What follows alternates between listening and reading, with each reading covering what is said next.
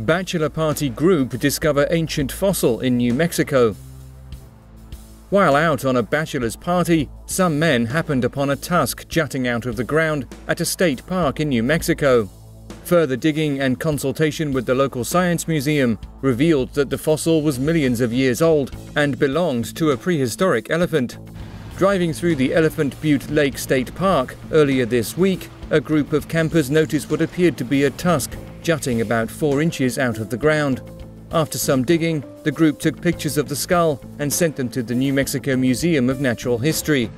Scientists studied the images and said that the fossil looks like a stegomastodon, a 9 foot tall, 13,000 pound prehistoric elephant that roamed New Mexico millions of years ago.